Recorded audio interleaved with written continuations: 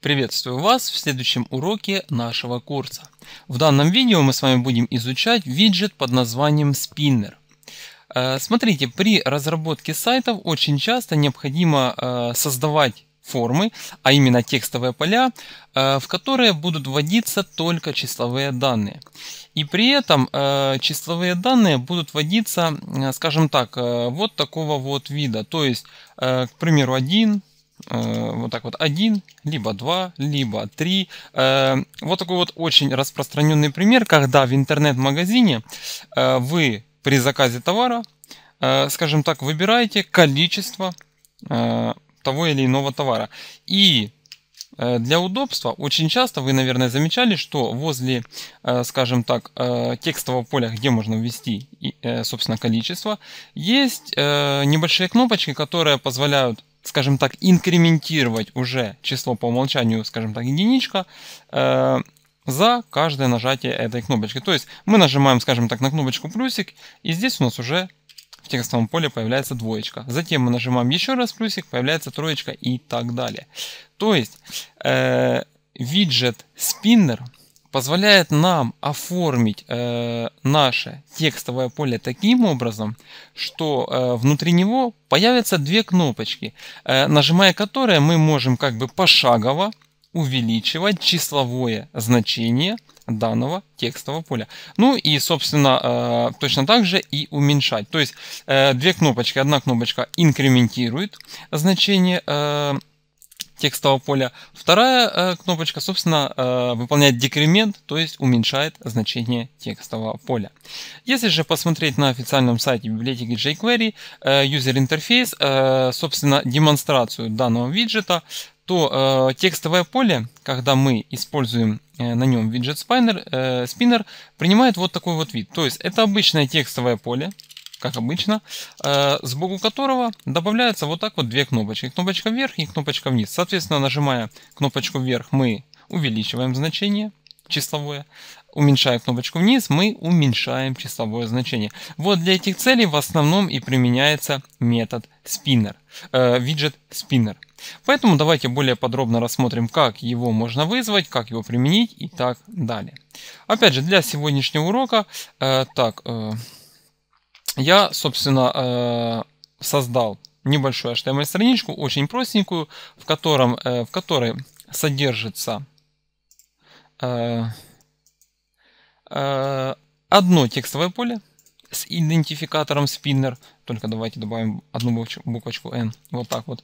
Затем два переноса строки и, собственно, в между тегом и span мы выводим строку клик. То есть это не что иное ссылка, которая запускать, э, будет запускать различные методы данного виджета. То есть для тестирования мы будем использовать данную ссылочку. Вот.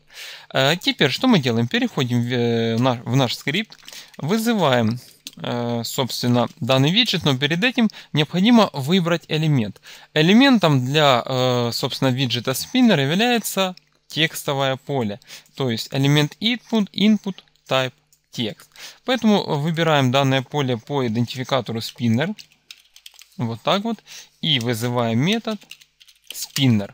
Данный метод принадлежит библиотеке jQuery UI. Вот таким вот образом мы его вызываем. Обновляем наш скрипт. И вот, собственно, обратите внимание. Теперь наше текстовое поле выглядит вот таким вот образом. То есть у нас все так же есть текстовое поле, но рядышком а даже внутри него, э, как бы, ну, здесь не внутри него, а рядышком с ним, э, созданы две кнопочки. Кнопочка вверх, при нажатии на которую мы увеличиваем числовое значение данного виджета, и кнопочка вниз, при нажатии на которую мы, собственно, уменьшаем э, числовое значение данного виджета. Очень прост в использовании, как вы видите, и довольно-таки функционален, так как очень удобно данный виджет использовать в интернет-магазинах и на любых других сайтах, где вам необходимо, скажем так, вводить э, и принимать какие-то числовые данные, которые пользователь может как бы пошагово изменять. То есть с определенным шагом, скажем так, через 1, через 10, через 100, через 50 и так далее. И, собственно, когда вы оперируете только числовыми типами данных. Вот. Э, сейчас давайте рассмотрим свойства, э, методы и события данного виджета, а в конце данного урока мы рассмотрим некий дополнительный функционал данного виджета, так как, э, собственно, скажем так, вывод вот этих вот кнопочек, это не весь функционал данного виджета. Он, данный виджет также может определенным образом обрабатывать вот эти вот данные и обрабатывать их и изменять в соответствии уже с локальными настройками. То есть, если вам нужно, к примеру, э, привязать данный виджет, скажем так, к региону Россия, так, э, то, ну, опять же, дальше по ходу урока вы, мы с вами посмотрим, как это все делается. Сейчас я не буду об этом вам говорить. По ходу урока станет сразу все понятно. Итак, э, как обычно, давайте рассмотрим свойства э, данного виджета, то есть настройки. Для того, чтобы э, указать настройки, опять же, мы передаем литерал объект при помощи литерал объекта свойства данному методу. И первое свойство, которое мы с вами рассмотрим, довольно-таки распространенное свойство для всех виджетов, это свойство disabled. Вот так вот. И если мы передаем значение true, то, конечно же, наш виджет отключается и, собственно, не активен, работать мы с ним не можем. Поэтому вернем значение false. False э, является э, значением по умолчанию для данного виджета. Затем, э, полезная э, настроечка, настроечка icons.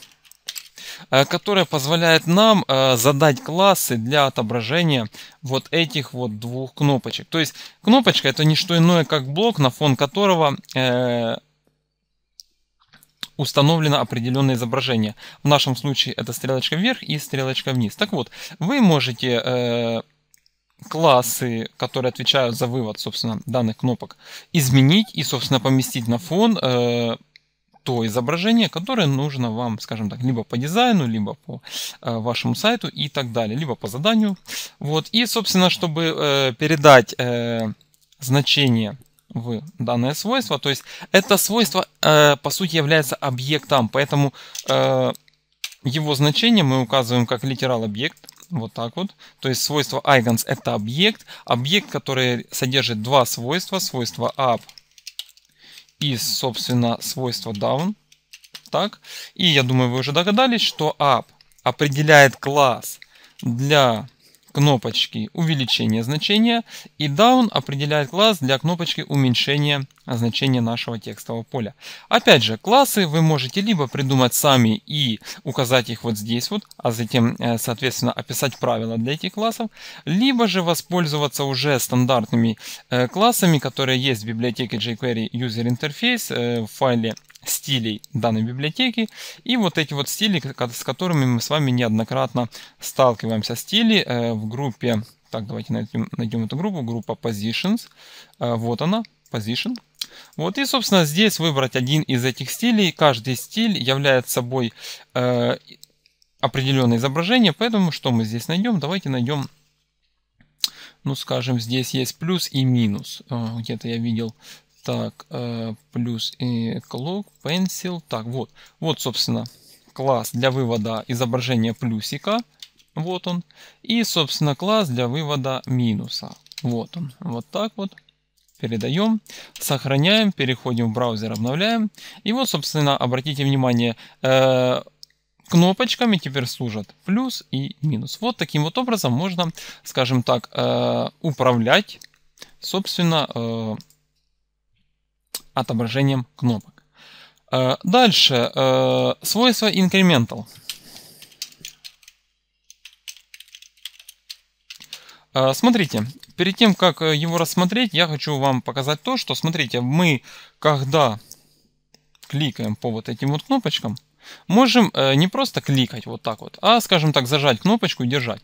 Смотрите, сейчас постоянно идет увеличение, скажем так, значение нашего текстового поля. Видно, да? Точно так же и с кнопочкой минус мы можем нажать и держать. И таким образом э, наше значение постоянно уменьшается. Понятно, да? Вот. Э, дальше. Э, уменьшать и увеличать, э, увеличивать значение мы можем, используя стрелочки вверх и вниз на клавиатуре. То есть, собственно, я сейчас нажимаю вверх, значение увеличивается. Я сейчас нажимаю вниз, значение уменьшается. Вот, собственно, свойство incremental может принимать, э, скажем так, три параметра. Первый параметр, параметр true, э, который является значением по умолчанию, и э, означает он то, что, смотрите, когда мы с вами зажимаем, скажем так, одну из кнопочек, вот так вот, то у нас как бы шаг движения нашего, не движения, а увеличения значения текстового поля не постоянен, он постоянно как бы изменяется. Вот так вот, да? Но если мы передаем false, то шаг увеличения постоянно одинаков. По умолчанию он равен единице. К примеру, вот так вот. Э, кстати, за величину шага отвечает э, настроечка Step. Вот так вот, если я поставлю пятерочку, то мы с вами э, можем увидеть, что сейчас, если я зажму и буду держать кнопочку плюс, то увеличение будет так. Почему-то не отработала наша настроечка Step. Так, так, а, ну конечно. Мы же вот эти вот настроечки сейчас передаем э, как литерал объект для свойства icons, а нам их необходимо передавать вот здесь вот за пределами данной настройки. Вот так вот. Вот. Собственно, э, смотрите, сейчас я указываю шаг равен 5, э, значение настройки incremental равно false. То есть сейчас, э, если я зажму и буду держать, собственно, кнопочку плюс, то шаг увеличения значения текстового поля будет равен постоянно 5. Смотрите, вот я держу, и видно, да, что шаг равен 5. То есть последняя циферка это либо 0, либо 5. Постоянно как бы вот так вот перебрасывается. Видно, да? Вот. И до, собственно, бесконечности. Если же я установлю здесь true, то сейчас как бы шаг э, изменения увеличения, вернее, э, значения текстового поля будет уже не постоянен. Обратите внимание, вот я зажал, и э, видно, да, что здесь уже сейчас постоянно держится 0, так как, э, в принципе, сейчас наш шаг изменяется в размерах и постоянно немножечко так увеличивается. Вот. То есть вот такая вот настроечка, в принципе, она довольно-таки редко используется, так как визуально э, тяжело ее заметить. Но э, такая настройка есть, и вы должны о ней знать. Ну и, конечно же, можно передать сюда функцию function, э, данная функция должна вернуть, собственно, величину шага. То есть, если я напишу вот так вот, return, скажем так, 20, то шаг, если мы нажимаем плюс и минус, будет равен 20. Э, так, так, только единственное, давайте закомментируем настроечку step, так как она равна у нас 5, мы видим, что э, данный шаг, да, шаг 5 дают нам изначально э, начальный шаг 100. Вот так вот, если я буду э, увеличивать, то видно, да, сейчас отрабатывает вот эта вот функция. И у нас шаг, скажем так, увеличение, изменение э, значения текстового поля равен 20. И то же самое в отрицательную сторону уменьшаем с шагом 20 единиц. Вот таким вот образом. Понятно, да? Вот это то, что касается, скажем так, э, настроечки Incremental. Э, данная настроечка довольно-таки редко используется, но иногда она может быть полезна. Так, теперь э, давайте я ее закомментирую. В принципе, она нам не нужна. Здесь оставим настроечку Step. Настроечка Step, еще раз повторю, повторюсь, задает нам шаг изменения Э, нашей величины, э, величины э, текстового поля видно, да, вот 5, 10, 15, 20 и точно так же в отрицательную сторону. Вот. И еще две полезные настроечки. Настроечка минимум, которая задает минимальное значение э, текстового поля виджета э. Ну, к примеру, напишем вот так вот, минус 500, да. И, собственно, максимальное значение, настроечка максимум, которая задает максимальное значение текстового поля для виджета Spinner. Опять же, смотрите, вот я зажму сейчас плюсик и держим, да, как только значение достигнет значения 500, максимального значения, то, собственно, сколько бы мы ни жали на плюсик, больше увеличения данного значения у нас уже не будет. Точно так же в отрицательную сторону, как только мы достигнем значения минус 500, декремент остановится и больше уменьшить значение мы с вами не сможем. Вот такие вот две полезные настроечки, которые довольно-таки часто используются. Дальше, вообще-то дальше следует э, рассматривать настроечку number формат. Но мы о ней с вами поговорим э, немножечко позже, когда будем э, рассматривать локальные, вернее, работу данного виджета уже с привязкой к некоторым локальным настройкам. Понятно, да? Поэтому здесь мы пока закомментируем данную э, настроечку. Теперь следующая настроечка называется Page. Э, вообще в виджете Spinner есть понятие как бы страниц. Э, страница это, скажем так, несколько шагов. То есть шаг у нас сейчас э, определяет скажем так, один шаг это у нас 5 единиц, да, вот, а страница содержит в себе несколько шагов, скажем так, 4, 5, 10 и так далее. То есть несколько шагов это одна страница, понятно, да? Вот, и, собственно, настроечка Page э, содержит в себе содержит в себе число как раз таки шагов в одной странице. А для того, чтобы переходить со страницы э, на страницу, то мы с вами рассмотрим определенные методы, которые позволяют это сделать. И что мы сделаем? Смотрите, сейчас шаг у нас 5, а в странице мы напишем, что будет точно так же 5 шагов. Понятно, да? Вот. И дальше мы, когда будем изучать методы, с вами увидим, как работать с данной настроечкой. Вот. Э, в принципе, это все настройки, которые есть у э, виджета Spinner. Теперь давайте рассмотрим методы. Э, для этого что мы сделаем? Мы обратимся к нашей ссылочке по идентификатору CL. Вот так вот. Выберем то есть ее при помощи библиотеки jQuery. Вот так вот. Используя метод клик, опишем функцию обработчик события клик по данной ссылочке. Вот так вот. И, собственно, здесь что мы будем? Мы будем вызывать методы виджета spinner. Опять же, мы выбираем тот элемент, для которого применен данный метод. Э, и в скобочках к этому методу мы передаем имена, собственно, методов. И первый метод, который мы с вами рассмотрим, метод destroy, который, как обычно, разрушает функционал данного виджета. Кликаем, собственно, видно, да, сейчас виджет рабочий. Кликаем по ссылочке и, собственно, видно, да, что виджет, его функционал полностью разрушен. Дальше метод disable э, отключает работу данного виджета. Вот таким вот образом, виджет неактивный. Вот. Э, дальше метод э, enable, который включает виджет в работу. То есть, если здесь мы вызываем метод enable, вот, а вот здесь вот в свойстве disabled мы укажем true, то есть изначально выключим наш виджет. Вот, обновляем скрипт, кликаем по ссылочке и, собственно, видно, да, виджет включен в работу. Вот. А, это то, что нам выполняет э, метод э, enable. Дальше стандартный метод option. Думаю, вы знаете, для чего нужен. Метод, который позволяет либо получить э, настроечки, либо объект всех настроечек э, виджета, либо, наоборот, значение конкретной настройки, если мы ее название передаем вот сюда вот. Тот же, к примеру, step. Вот так вот. Либо данный метод позволяет нам изменить значение конкретной настройки. То есть, э, если мы обращаемся к настройке step и следующим параметром передаем новое значение, скажем 10, то вот таким вот образом мы с вами изменяем значение этой настройки. То есть сейчас шаг 5, кликаем по, собственно, э, ссылочке, и теперь шаг уже равен 10. Вот таким вот образом. То есть стандартный метод option, мы с вами его неоднократно рассматривали, поэтому, думаю, останавливаться на нем не будем. Дальше э, метод page down. Вот как раз таки метод, который позволяет нам, скажем так, перейти на следующую страницу. Смотрите, вот у нас э, настроечка step, шаг, шаг равен 5, и мы установили, что в одной страничке у нас 5 шагов. Давайте это проверим, вызываем метод pageDown, обновляем наш скрипт, вот, и, скажем так, кликаем по ссылочке, и вот мы видим минус 25. То есть то, что я и говорил. Мы переходим на следующую страничку только вниз, page down, на следующую страницу вниз. Э, в одной странице у нас 5 шагов, э, в одном шаге у нас, скажем так, 5 значений. Понятно, да? Вот таким вот образом.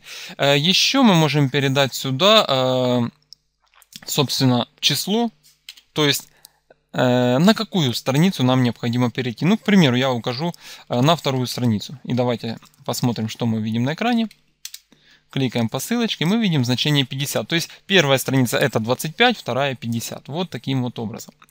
А, дальше довольно-таки аналогичный метод, но который выполняет противоположное действие, метод PageUp. Данный метод что выполняет? Он переходит на следующую страницу вверх. Опять же, шаг у нас равен 5, число шагов в одной странице 5. И, собственно, если я вот так вот обновлю наш скрипт, то мы с вами увидим следующее. Э, так, э, а, ну конечно, э, мы кликаем по ссылочке и видим 25. Еще раз кликаем 50 и так далее. Опять же мы передаем вторым параметрам, можем передать номер той страницы, на которую нам необходимо перейти. К примеру, на пятую страницу обновляем наш скрипт, кликаем по ссылочке и видим 125. Вот таким вот образом как бы двигаемся уже по отдельным страницам. Следующий метод, который мы с вами рассмотрим, метод под названием step down. Вот так вот он пишется. Так, и, э, собственно, если мы передаем, вернее, вызываем данный метод без параметров, то мы с вами как бы выполняем действие аналогичное нажатию вот этих вот кнопочек, то есть, а именно кнопочки минус вниз. То есть мы уменьшаем значение э, нашего текстового поля на, скажем так, величину шага. Вот, собственно, минус 5, минус 10, минус 15, минус 20 и так далее. То есть эквивалентно, что мы нажимаем просто кнопочку минус.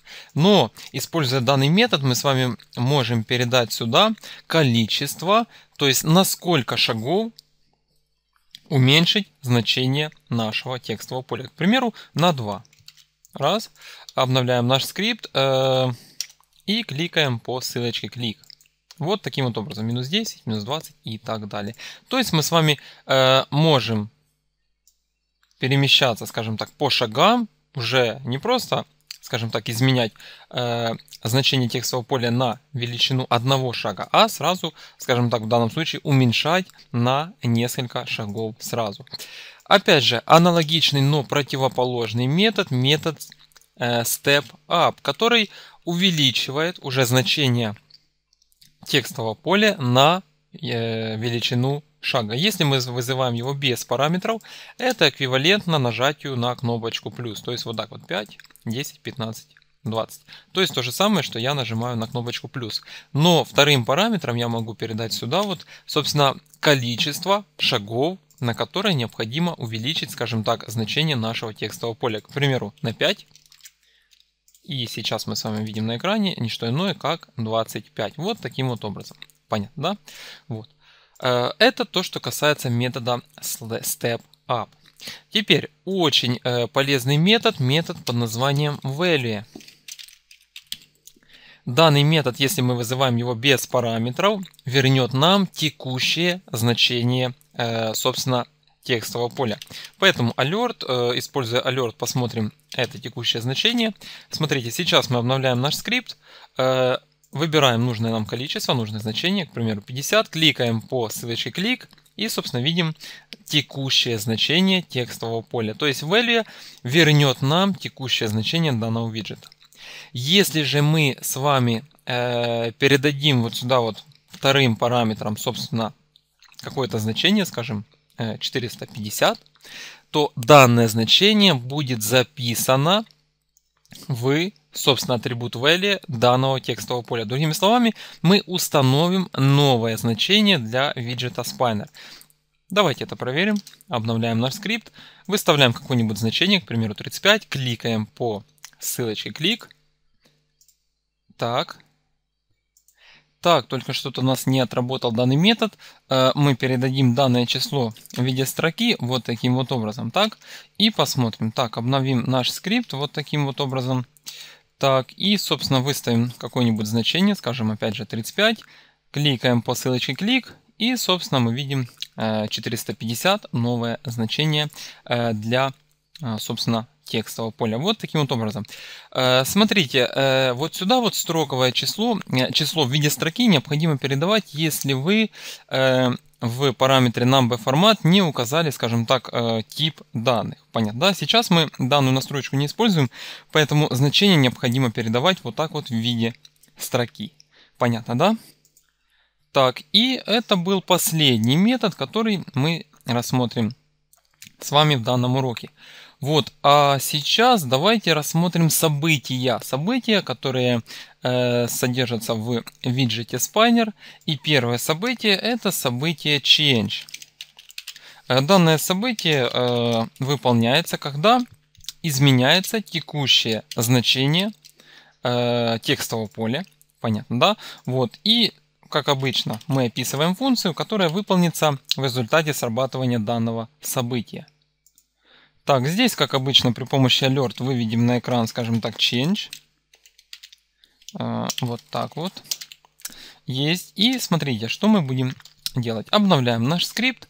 Вот, э, и изменяем значение. Вот мы, собственно, изменили значение. И как только мы уберем фокус с текстового поля, сработает событие change. Смотрите, вот я убрал фокус, и вот сработало событие change. Вот таким вот образом. Э, теперь следующее событие, э, событие под названием create. Ну, я думаю, вы знаете уже, для чего нужно это событие.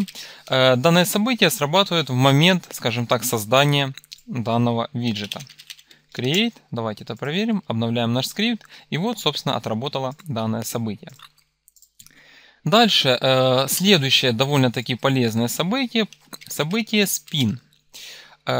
Данное событие срабатывает каждый раз, когда мы с вами, скажем так, инкрементируем или декрементируем э, значение нашего текстового поля. То есть, другими словами, когда я кликаю по кнопочкам, вот таким вот образом, плюс-минус, плюс-минус, э, я изменяю значение э, текстового поля, и тем самым за каждое изменение значения срабатывает данное событие spin.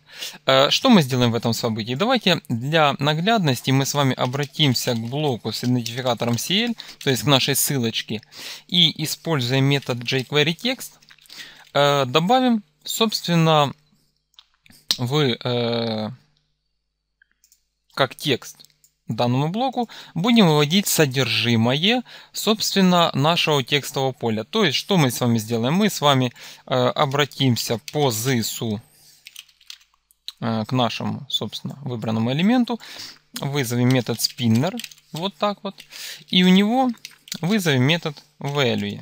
Вот таким вот образом. То есть я э, как текстовое содержимое в э, блок с идентификатором CL э, записываю текущее значение э, текстового поля э, для которого применен виджет spinner. Давайте это проверим. Обновляем наш скрипт. И, собственно, вот я инкрементирую. Видно, да, э, значение нашего текстового поля, и сразу же это значение появляется у меня в блоке span.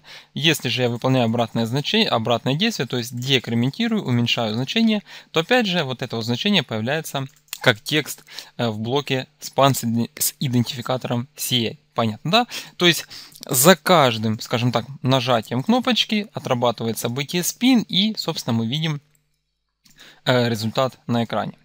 Дальше, э, следующее событие, событие старт. Э, данное событие срабатывает, э, когда, смотрите, я, к примеру, зажимаю вот так вот кнопочку плюс либо минус, и как только я ее зажал, сработало событие старт. Смотрите, вот мы обновляем наш скрипт. Я кликну, скажем так, и зажму кнопочку плюс.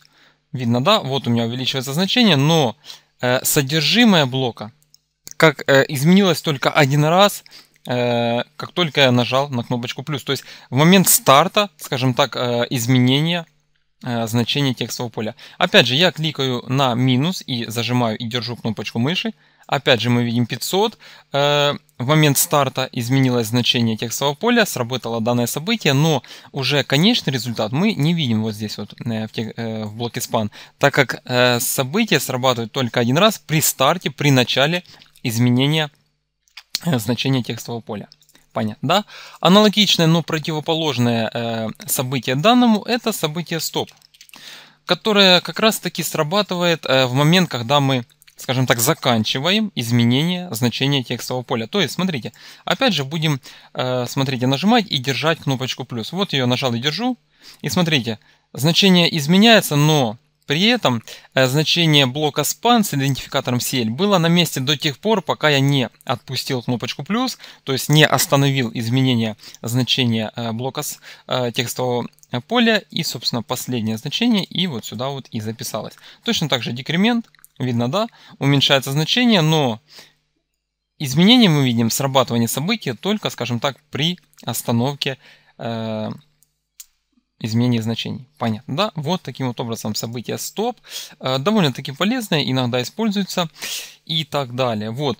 И, собственно, это было последнее событие данного виджета Spinner. Вот мы с вами и рассмотрели все основные настройки, методы из и события виджета Spinner. Но в завершении данного урока я хотел бы поговорить об Э, одной довольно-таки важной возможности данного виджета. И эта возможность заключается в том, что данный метод может не только, скажем так, увеличивать, уменьшать значение соответствующего текстового поля, а может и определенным образом обработать э, данное значение и определенным образом его изменить в соответствии с локальными настройками, которые мы укажем при работе с данным виджетом. Смотрите, если перейти на страницу демонстрационных материалов данного виджета, мы можем увидеть несколько примеров помимо э, использования данного виджета по умолчанию. То есть это пример, связанный с выводом э, денежных единиц, пример с выводом, скажем так, чисел и пример с выводом времени. То есть, как вы видите, э, в каждом из этих примеров мы можем выбрать одну из локальных настроечек. Скажем так, при отображении денежных единиц, если мы выбираем евро, то возле собственного значения добавляется значок евро. Если мы выбираем доллар, то добавляется значок доллар. То же касается для чисел. Если мы выбираем, скажем так, э, страну Германию, то число э, Э, дробная записывается вот таким вот образом. Целая часть, затем запятая и, собственно, дробная часть. Но если мы выбираем, скажем, страну Англию, то здесь уже добрая, э, целая от дробной части отделяются точечкой. Ну и, соответственно, time, опять же, если мы выбираем страну, то время выводится для этой страны, скажем так, в соответствии с локальными настройками. То есть, виджет Spinner может также работать, э, обрабатывать даты, э, используя локальные настройки. Как же работать с данным виджетом при помощи, э, вернее, задавая ему локальные настройки. Если мы перейдем, скажем так, по ссылочке API Documentation, то в самом начале описания данного виджета мы можем увидеть такое понятие Globalize. Э, Globalize это скрипт. Это определенный скрипт, другими словами, файл на языке JavaScript, который позволяет нам задавать определенные так сказать, территориальные, либо локальные настройки для виджета. Э, Собственно, э, данный скрипт довольно-таки обширный, у него довольно-таки мощный функционал, и он позволяет обрабатывать как числа, так и даты, так и денежные единицы и так далее. Вот здесь его полное описание с, пример, с примерами работы, но, конечно же, мы его полностью рассматривать не будем, так как он достаточно огромен, и для этого нужно несколько полноценных уроков. Мы рассмотрим только, э, как работать с, с локальными настройками. Вот э, некоторые нюансы и рассмотрим один небольшой пример, чтобы вы знали, что это такое, где можно скачать, собственно, данный скрипт Globalize, где посмотреть его описание и, собственно, чтобы вы знали, что это такое и вообще зачем оно нужно. Понятно, да? Так вот, э, первым делом для того, чтобы работать с локальными настройками, настройками необходимо скачать и, и подключить у себя на сайте скрипт Globalize. Для этого, смотрите, вот здесь вот сверху, э, перед описанием данного скрипта есть э, некие файлы и папки. Так вот, если мы зайдем в папочку lib, мы как раз таки и найдем скрипт Globalize. Вот данный скрипт, кликаем по нему и, собственно, мы видим его исходный код. Поэтому мы можем выбрать данный исходный код. Вот таким вот образом копируем все содержимое данного исходного кода, копируем. Э, при помощи текстового редактора создаем новый файл, скажем так, э, JavaScript. Вот. И сохраняем э, данный файл под именем, скажем так, globalize.js и подключаем в индексном файле. Я это уже, скажем так, проделал, скачал данный файл, и вот он у меня подключен после, вот он, после библиотеки jQuery UI. Понятно, да? Вот таким вот образом.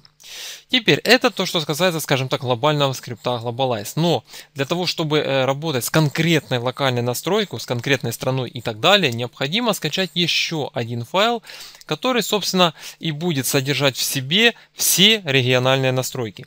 Так вот, э, вот эти вот файлы содержатся в папочке Cultures. Вот так вот. И если перейти в данную папочку, то здесь содержится масса вот этих вот файликов, и каждый из них э, отвечает за определенную локальную настроечку, то есть, другими словами, соответствует одной какой-то стране. Так вот, мы можем найти файл, который соответствует России, вот он, э, globalize culture.ru, либо вот этот вот, либо вот этот. Я обычно качаю вот этот вот, опять же, кликаем по нему, Э, опять же, вот его исходный код, копируем. Если вы посмотрите, то здесь э, содержатся массивы, а, в которых обычные, так сказать, переводы, скажем так, дни недели, месяцы, даты и так далее. То есть все, что касается настроек э, значений для России, понятно, да, для русского языка. Вот, э, копируем данный исходный код, опять же создаем новый файл, вставляем исходный код, э, сохраняем под именем, скажем так, я сохранил под именем globalize, нижнее подчеркивание ru.js и вот так вот подключил к нашему скрипту, к нашему файлу после подключения globalize.js.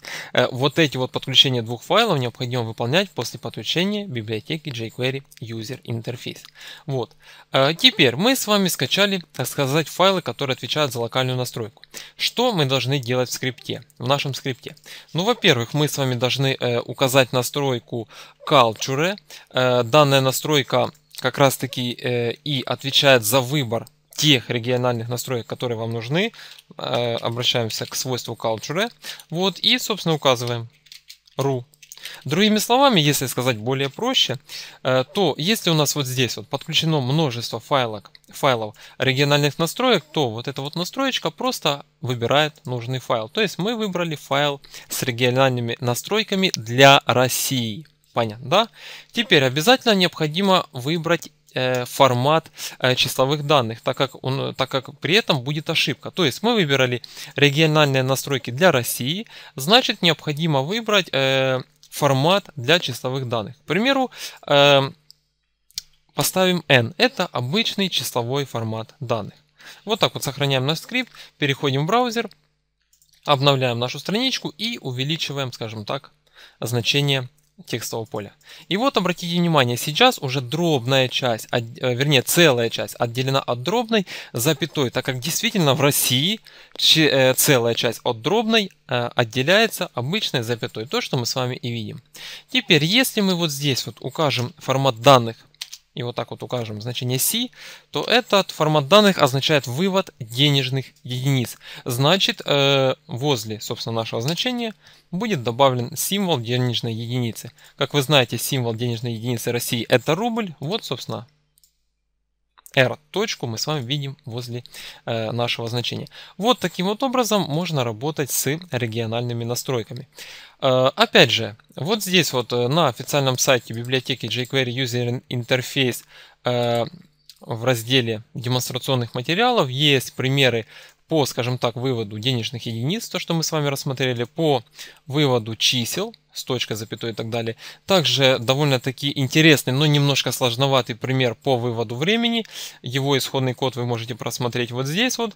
Э, поэтому здесь, в принципе, ничего сложного нет, просто мы обращаемся к, э, собственно, методам видно, да, методом Э, парс и так далее, методом формат, э, которые отвечают за вывод, собственно, даты. Ну, данный пример мы, э, пример мы рассматривать не будем, так как он довольно-таки редко используется. Все-таки, согласитесь, очень редко необходимо указывать дату в вот таком вот формате. Собственно, время в вот таком формате. Поэтому, если вам когда-то пригодится вот этот вот пример, и знайте, что вот здесь вот на странице демонстрационных материалов jQuery, библиотеки jQuery UI, есть, собственно, исходный код, как реализовать реализовать вот этот вот пример. Вот. А вообще, э, для того, чтобы работать с региональными настройками, э, вам нужны всего лишь два файла. Файл globalize.js и, собственно, файл тех региональных настроек, э, которые вам нужны. Конечно же, вы Открыв данный файл, вы можете изменить что-то здесь под себя, хотя я думаю, это вам вряд ли понадобится, но опять же, здесь видно, да, в принципе, все понятно, дни недели, э, сокращенные и так далее. На этом данный урок я буду завершать. Всего вам доброго и увидимся в следующем уроке нашего курса.